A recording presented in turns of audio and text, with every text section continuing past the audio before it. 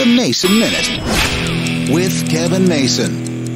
As a struggling DJ, I spent too many of my formative years eating fast food. It was cheap and it was filling. I pay the price to this day. But I can go back and remember some monumental moments at fast food places. I know it's kind of sad, isn't it? Remember the first time I had a Frosty? It's probably about 1977. I just turned 16 and was looking for a job. We were living in Quincy, Illinois, so my mother and I both applied at the brand new Wendy's they had there. Neither of us got the job, but I did get a Frosty. When they came out with the vanilla Frosties, I had to try one. I like vanilla. My wife avoids it at all costs. She goes for the chocolate every time, until just the other day when we were visiting family and I was hungry, stopped into Wendy's and saw that they had the strawberry Frosty on the menu. So we both tried them. Number one, the large Frosty doesn't seem that large anymore. Am I mistaken? Has it gotten smaller? The large now seems like a medium. But not only that, the strawberry frosty just wasn't that good. It kind of tasted like strawberry Quik. Go figure. Large frosty, good idea, and I don't like the price anymore either.